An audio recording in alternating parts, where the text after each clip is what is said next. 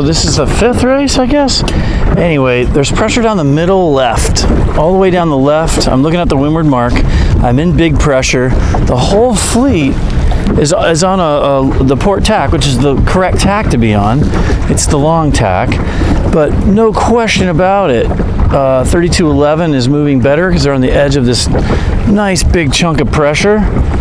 And it's as simple as that. You got to look upwind, see the dark water, and be in it. And, and, and 3211 is barely in it and uh, is crushing it as a result. So that's pretty, pretty nice, pretty instructional to take a video of that. Their start was okay, it was good, but uh, look at the, I mean, after two minutes, there's a huge amount of uh, progress made there just by being in the pressure.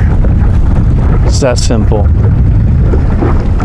And also that hard because not everyone can get to the pressure because everyone's trying to get there. But uh, nice job, 3211. Was that Herb, uh, Andy, and uh, Sarah?